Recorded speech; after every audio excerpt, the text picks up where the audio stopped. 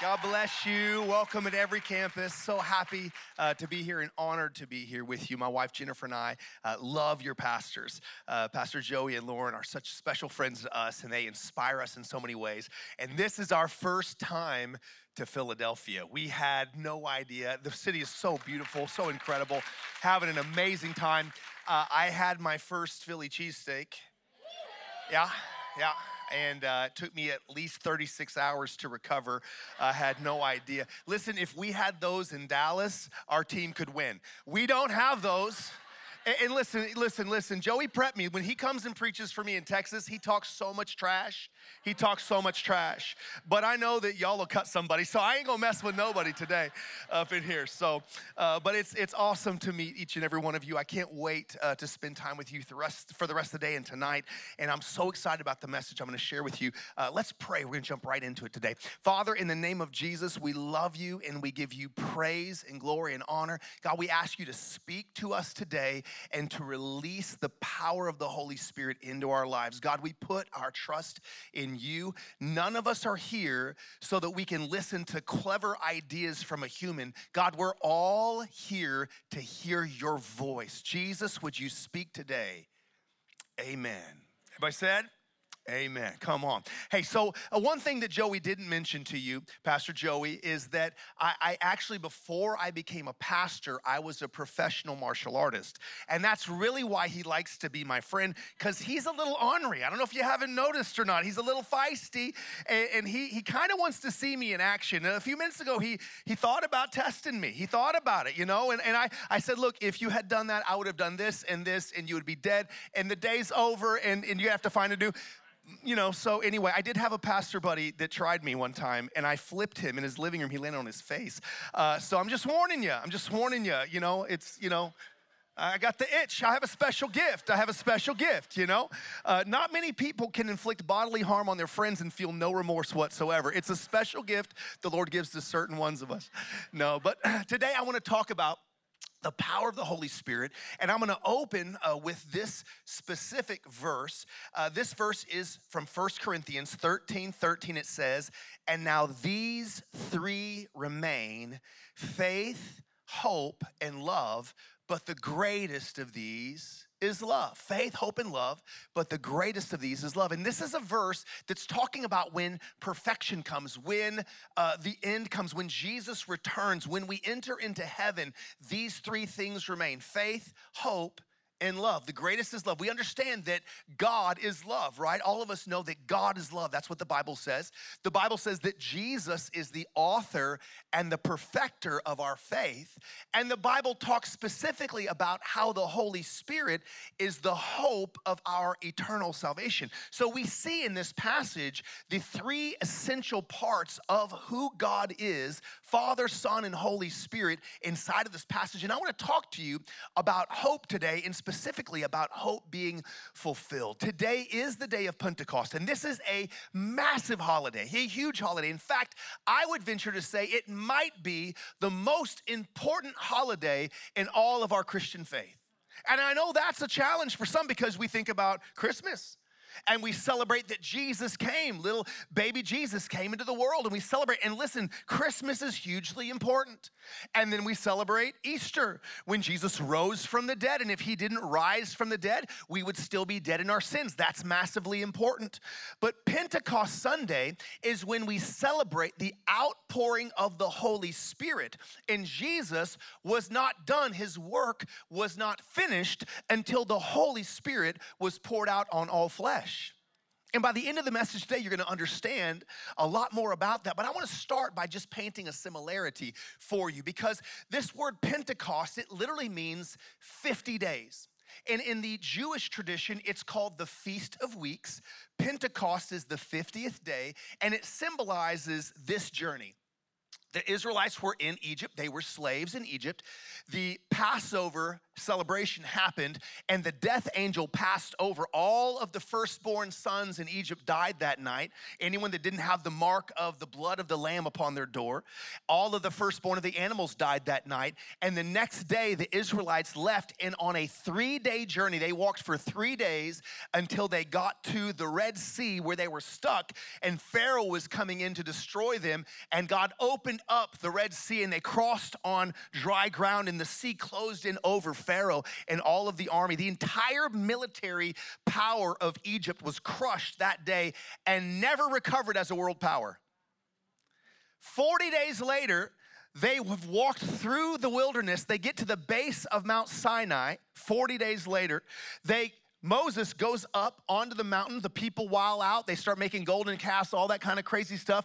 Moses comes down seven days later with the tablets of the Ten Commandments. Three days' journey to the Red Sea, 40 days in the wilderness, seven days on the mountaintop is 50 days. Pentecost was the day that Moses brought the Word of God, the Torah, the law of God to the people. It's the day that the Jewish people celebrate the giving of the Torah, the most valuable thing that they have.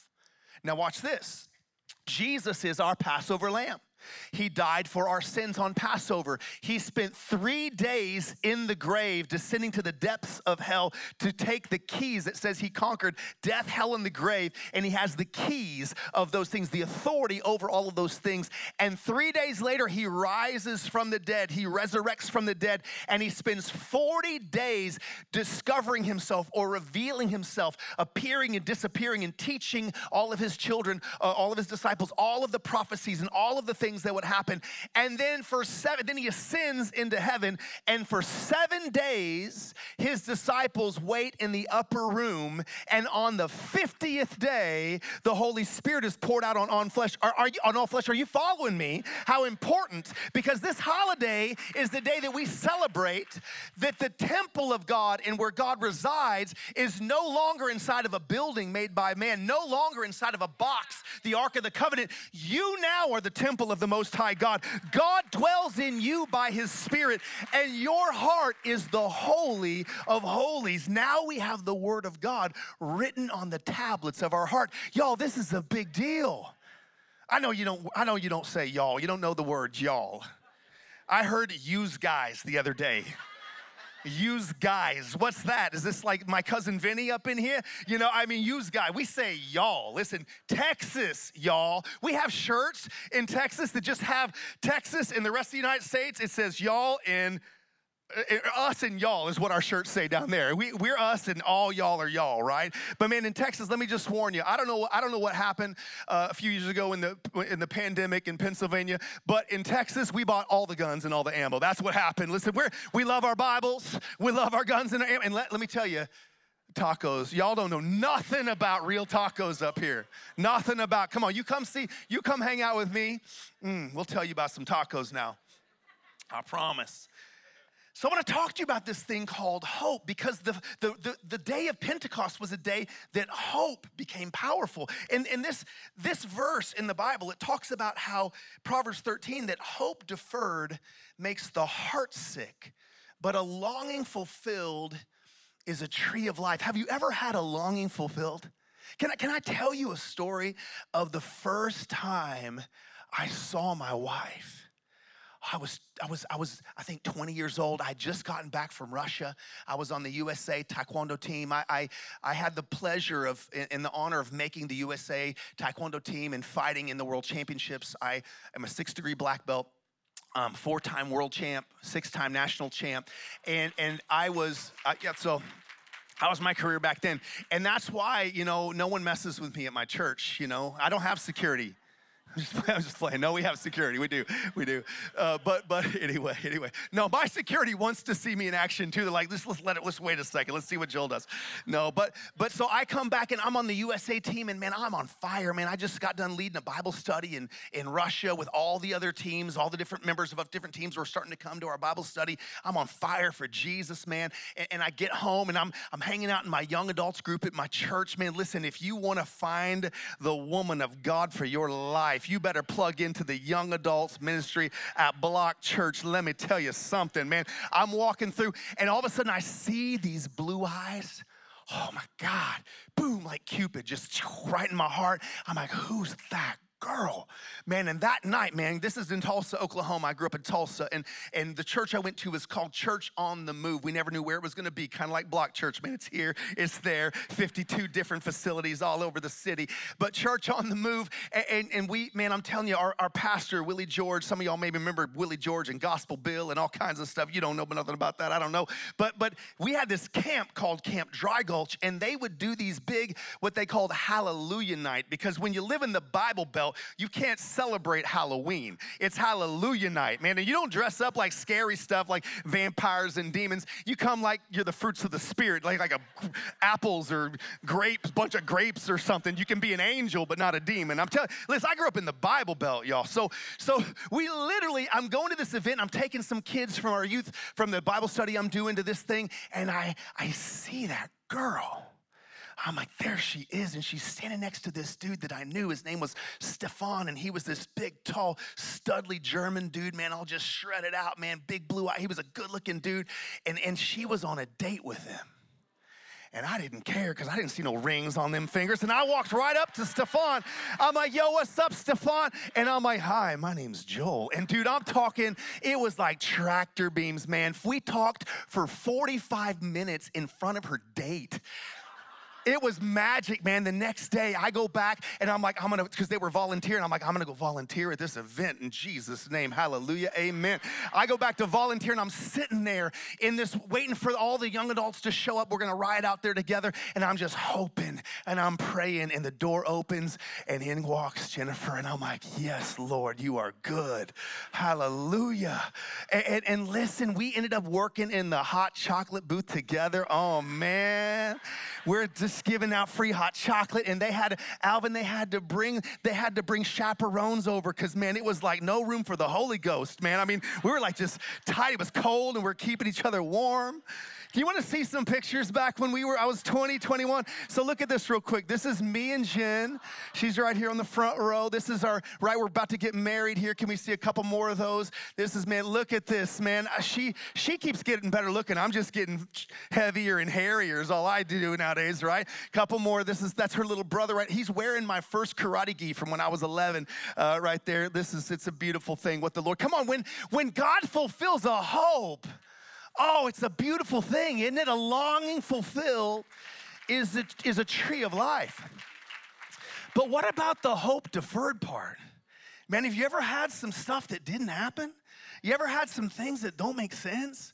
See, it can be really easy for you to kind of maybe look at me and judge me and, oh, I bet everything went great for you in your whole life and you probably always did well and you probably whatever, whatever. But man, Jennifer and I have been through some stuff. Uh, see, we, we, we had our first baby and we were, we were doing well. It was like the best time of our lives. And then all of a sudden, she's 11 months old and they find a brain tumor. And the tumor was as big as a man's fist inside of her little baby head and it was crushing her brain and she was literally living in agonizing suffering pain and our whole world crashed because it wasn't just any tumor, it was called a rhabdoid tumor. It was the most terminal, fatal tumor, that they had ever known. And there were zero survivors. And we go into this fight of faith and we're hoping and we're believing and we're holding on to God and we're doing radiation therapy. We're literally shooting radiation through our baby's head.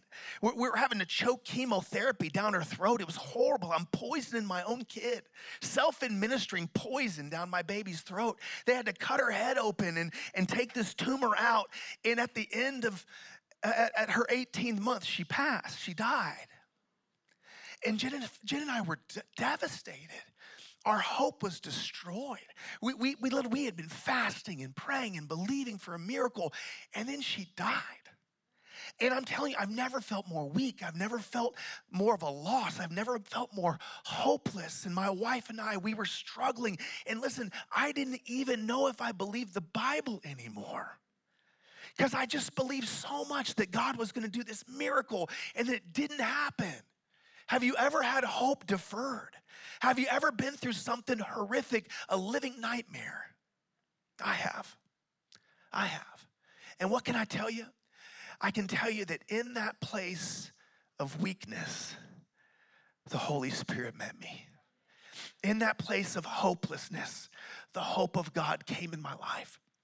And I began to have encounters with the Lord. See, it was in that place of desperation. It was in that place of hopelessness that hope came into my life. And I began to encounter God through the Holy Spirit. I began to have conversations with God. God began to reveal himself to me. I began this practice that I have of journaling, of writing my prayers and asking God to speak to me and writing down what I felt the Holy Spirit speaking to me in my heart. And it shifted and changed my life forever. I'm a different human than I would have ever been had I not been through that horrific season.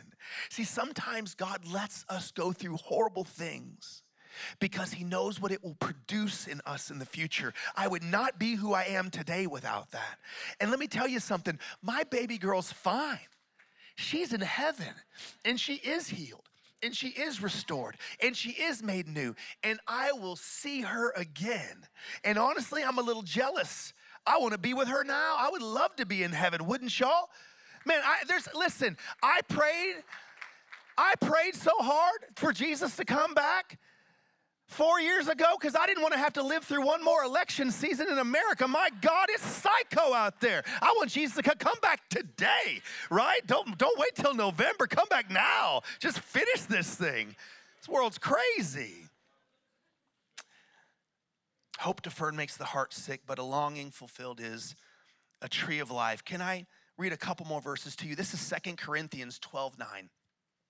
It says, and this is Paul speaking, and he said to me, he's talking about his experience with God when he asked God to deliver him from a horrible situation. He asked God to deliver him from a torment, a demonic tormenting. And God responded, My grace is sufficient for you, for my strength is made perfect in weakness. Therefore, most gladly, I would rather boast in my infirmities that the power of Christ may rest upon me.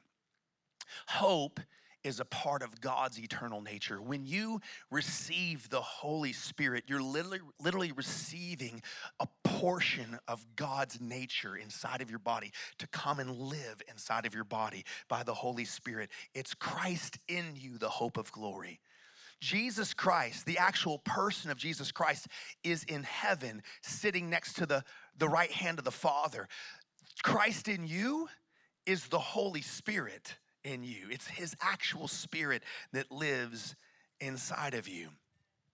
So I want to take you to this moment before Jesus ascended. And this is what people uh, maybe don't quite understand how important the Holy Spirit was to Jesus. This is right after the resurrection. The, the people, uh, the disciples or Jesus's followers, are hiding because they've just witnessed Jesus being brutally murdered.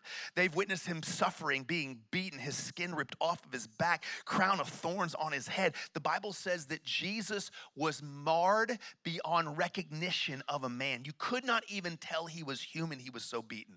We don't understand. Movies cannot do it justice what Jesus went through because he loves you.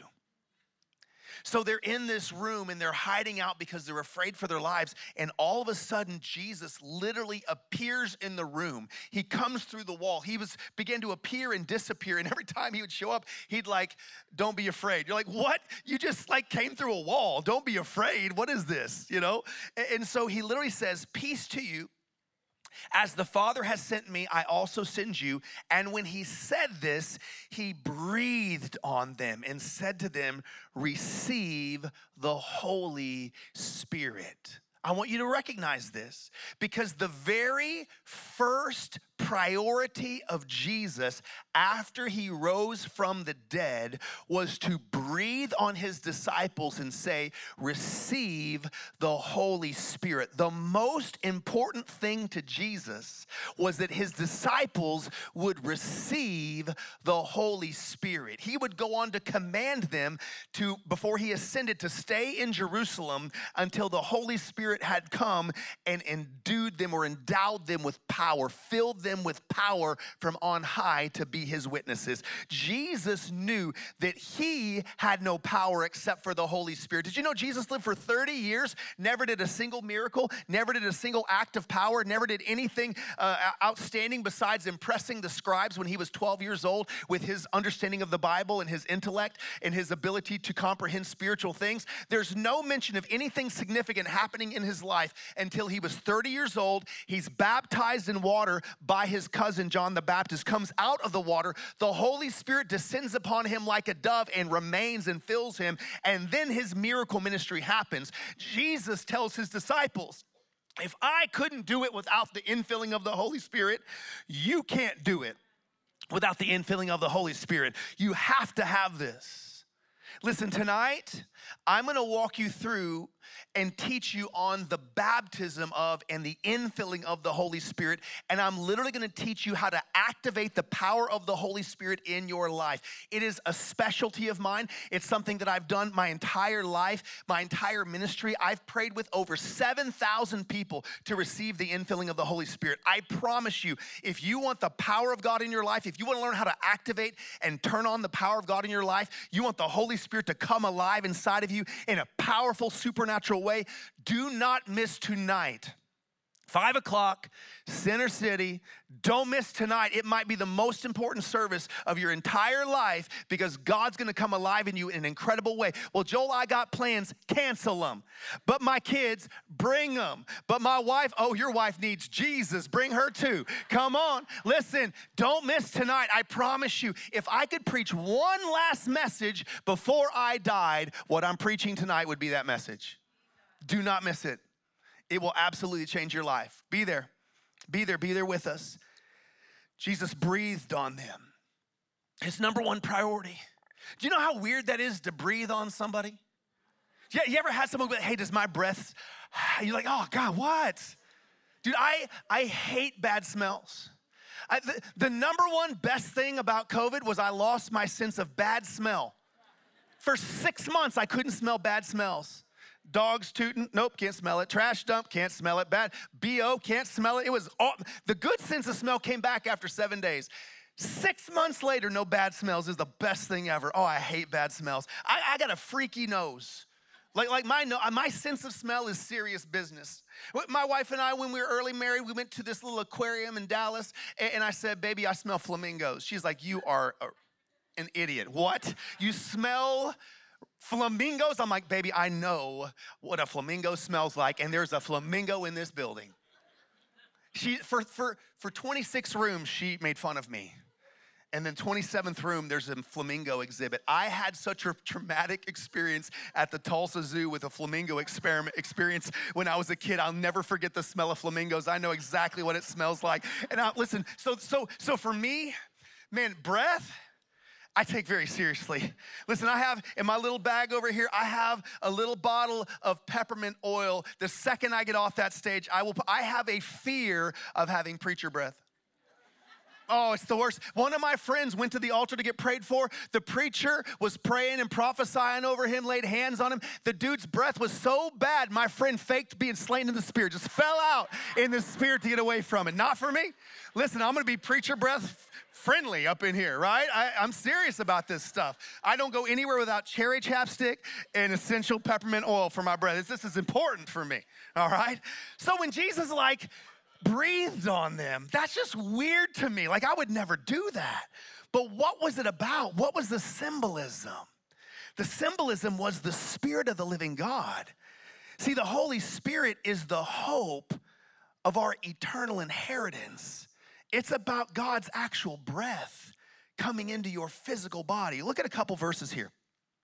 This is Second Corinthians chapter 1 verse 20. For all of the promises of God in him are yes and in him amen. To the glory of God through us. Now he who establishes us with you in Christ and has anointed us it, uh, us is God who also has sealed us and given us the spirit in our hearts as a guarantee. The Holy Spirit is your guarantee of your eternal salvation. It's the down payment of your eternal salvation. It's your expression or your experience, your taste of heaven right now because you have a future in heaven with God. And the Holy Spirit is your taste of heaven right now. Romans 15 says, May the God of hope fill you with all joy and peace as you trust in him, so that you may overflow with hope by the power of the Holy Spirit. Did you know how connected hope and the Holy Spirit were in the Bible? Let me show you one more place. Romans chapter 5 5 says, And hope does not put us to shame because God's love has been poured out in our hearts through the Holy Spirit who has been given to us.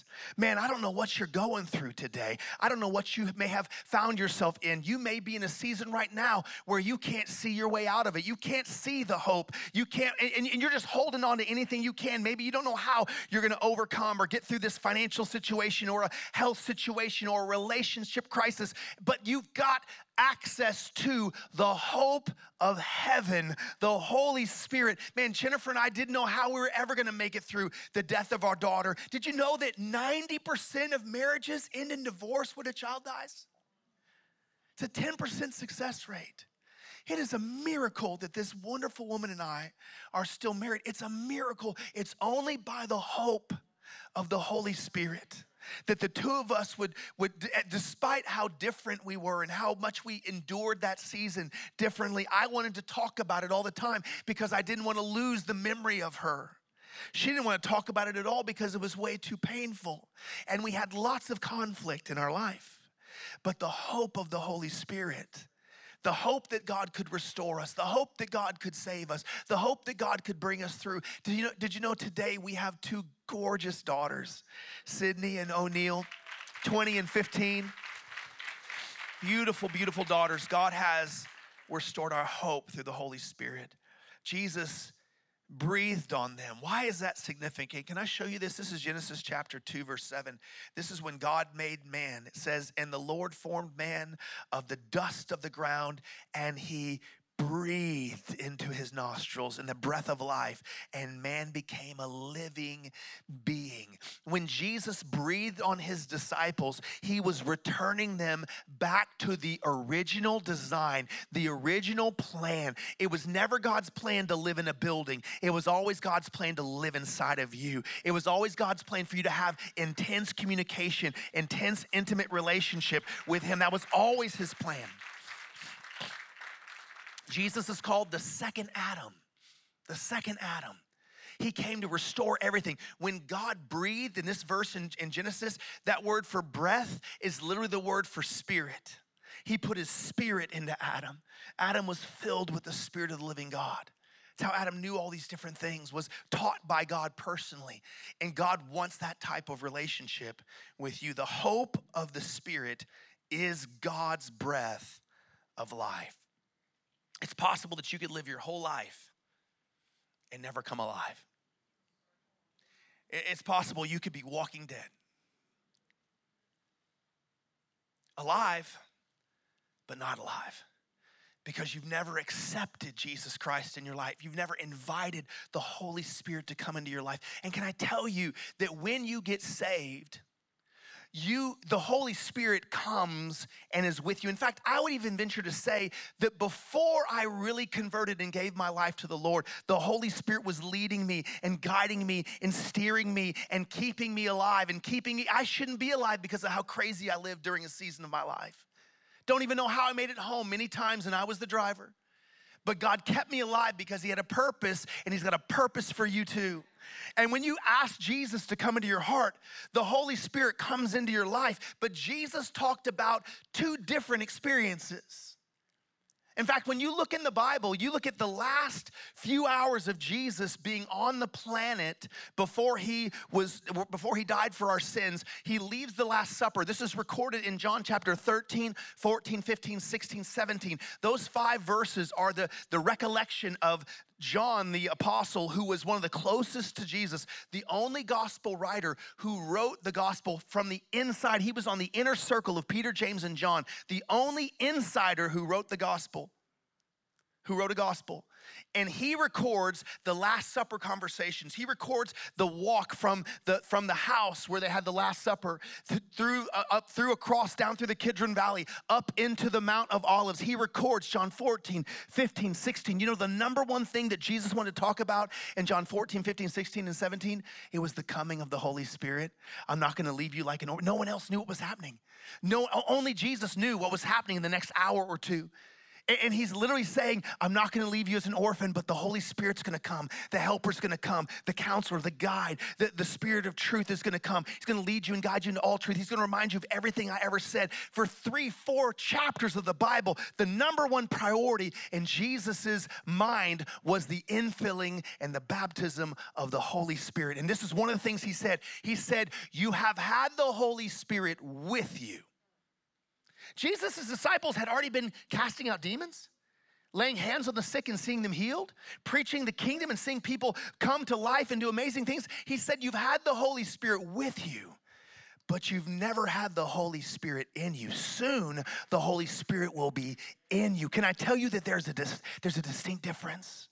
There's a distinct difference. And, and, and listen, tonight, when you come back, we're gonna pray tonight. I'm gonna walk you through the understanding of the baptism of the Holy Spirit. I'm gonna help you see it and so clearly, better than you've ever seen it before, potentially. And you're gonna activate the gifts of the Spirit in your life, and you're gonna step into a brand new season of your life and experience with Jesus where the power of Jesus comes alive in your life and the gifts of the Spirit are activated in your life, where it becomes second nature for you to communicate and connect with God and know the mind of God, know the heart of God, know the voice of God, begin to speak God's word and prophesy God's word and lay lay hands on people and step into the gifts of power. That's what God wants for you in your life. You cannot fulfill the plan of God for your life to the fullest extent that He has for you without stepping into the infilling of the Holy Spirit. Yes, you can make it to heaven.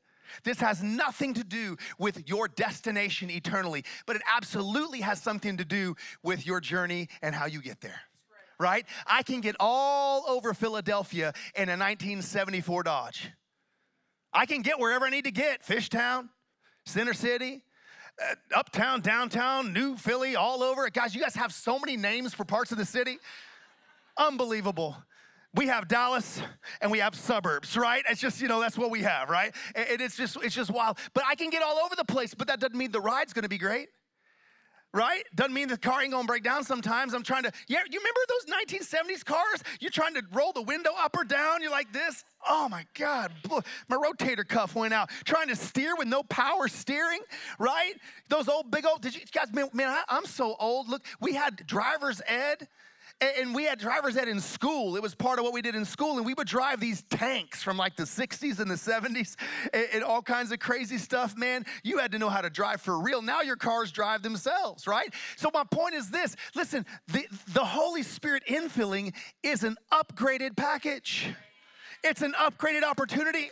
You've got contact and connection to a different power source. You've got access to all kinds of opportunities that are just different. You're still going the same place, but you have a better ride. You have a better encounter, a better experience, and you can walk in authority like you've never understood before.